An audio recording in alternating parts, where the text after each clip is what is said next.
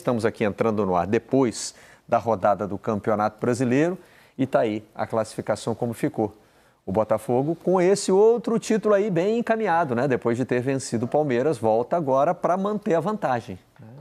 É, tem dois jogos para fazer quatro pontos e não depender de mais nenhum outro resultado. Se o Botafogo fizer quatro pontos, o campeonato acabou em termos de, de título. Né? O Palmeiras agora precisa que o Botafogo perca pontos. E amanhã a gente pode esse... ter definições sobre Fortaleza e Inter, né? Que entra em campo, dependendo dos resultados, podem estar na briga ou não ainda para as duas rodadas finais.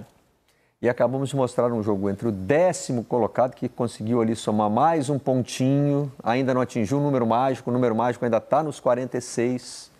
O espião estatístico vai atualizar o fim dessa rodada. E o jogo de hoje era contra o Lanterna, que já não tem mais nada para fazer no campeonato, e em casa. Daniel Pereira, estamos de volta com o Dandan com o Paulo César Vasconcelos, com o Felipe Bastos. O torcedor não gostou do que viu em São Januário hoje, não, hein, Dandan? Nem um pouco. Inclusive, teve uma galera que foi embora antes do, do, do, do final do jogo. Bem, ainda tinha ali chances e tal de pré-Libertadores, só que agora fica impossível e a briga do Vasco é pela Sul-Americana. E o Atlético soltinho, né? Já rebaixado, só querendo mostrar serviço. PC. Boa noite, Marcelo, Coutinho, Henrique, quem nos acompanha. Um jogo que foi revelador é, das limitações que o Vasco tem, elas só ficaram, foram ficando ao longo do campeonato cada vez mais evidentes. Não foi uma partida predominantemente é, favorável da equipe do Vasco e também revelador é, de como o Dragão, o Atlético Goianiense, é uma equipe limitada. Construiu 2 a 0 com razoável facilidade, mas a partir de um determinado instante, quando bateu o desgaste, as limitações técnicas de alguns jogadores começaram a aparecer. E foi por isso, né, Felipe, que o Vasco chegou ao empate. Sim, o Vasco chegou ao empate porque é, também foi no ímpeto, né? Ele tentou, foi, é, foi, na, foi na base da pressão que o Vasco conseguiu o empate mas é muito desorganizado defensivamente. O Vasco precisa melhorar muito isso. É, defensivamente precisa de algumas coisas, de alguns aspectos é, é, de técnica defensiva mesmo, tanto do João. A defesa sai, ele acaba não saindo acaba dando condição até para esse lance aí do Shailon. O, a, a, entrada do Max e a entrada do Alex, Alex Teixeira também deu mais movimentação ao ataque do Vasco, deu mais pressão, mas é muito pouco, né? O Vasco é, ele ficou é, de, de um time de um repertório só, de, de, só de cruzamentos na área, fica dependente do Verrete. Então o Vasco ele precisa melhorar isso se quiser classificar. Para Libertadores ficou distante agora, né? Porque acaba só empate em número de pontos com o Corinthians que vem em ascensão. O Vasco busca a Sul-Americana e busca terminar a temporada bem.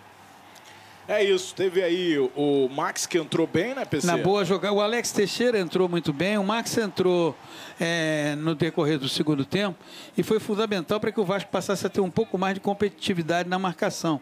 Porque quando o Vasco estava com o Felipe Coutinho, com o Paier e com o Verrete, o poder de marcação do Vasco ficou muito baixo. A partir da saída do Felipe Coutinho e da entrada é, do, do, do, do, Max Domingues no seu lugar, é, o Vasco recuperou um pouco mais desse poder poder de marcação. Um jogo que alternou o humor do torcedor vascaíno. Ele veio para cá para celebrar, afinal de contas você está enfrentando uma equipe rebaixada, e saiu do estado de celebração para um estado de total revolta, e depois, quando o Vasco diminui a diferença, e depois quando alcança um empate, o torcedor celebra, mas não sai do estádio satisfeito. O torcedor o Janderson estava em posição de impedimento, é, esse gol não valeu. O torcedor vascaíno hoje foi o que foi o torcedor vascaíno o ano inteiro. Ele Exato. oscilou, né? Ele oscilou de chegar numa semifinal de Copa do Brasil e a tristeza de não chegar na final. Oscilou de, de tentar buscar a Libertadores e hoje busca a Sul-Americana. Para o Vasco, isso é muito pouco. O Vasco precisa buscar mais, coisas maiores dentro da competição. Bom, é só para deixar claro, a gente viu ali um cartão vermelho. O Atlético não terminou com a menos, porque o Luiz Fernando recebeu o primeiro cartão amarelo por fazer cera ali na substituição e o segundo amarelo ele já estava fora do gramado. Então ele já tinha sido substituído. Então, só para ficar claro aqui, o Dragão não terminou o jogo com um a menos, né, PC? Exatamente. Luiz Fernando e Shailon foram os destaques da equipe do Dragão. Na medida em que eles cansaram, a, a, capacidade criativa do Dragão foi diminuindo.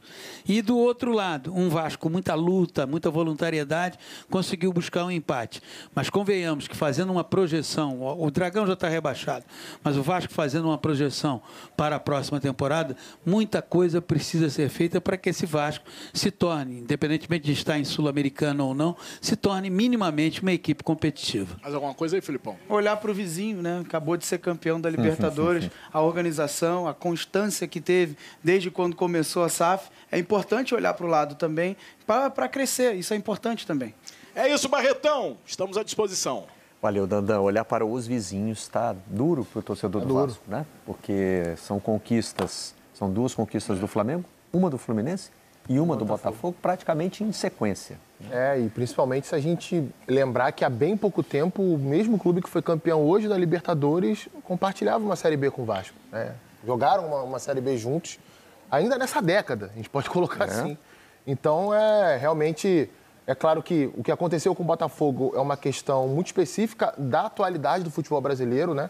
O Botafogo hoje é uma SAF, então o Botafogo, entre aspas, deu a sorte de ter um milionário comprando o futebol do clube, investindo no futebol do clube e organizando o futebol do clube. Mas não né? aconteceu isso aí tudo com o Vasco? Mas acho que não deu essa sorte. Não, né? É, que não foi a galera que chegou lá não era. Talvez não. não é talvez lições... não, certamente não tinha essa é uma das lições, que a gente realmente. Tem aprendido. SAFs não são iguais. São aventureiros, né, Coutinho? É. Oi? Lembrando, lembrando, Coutinho, que... Fala, Felipe.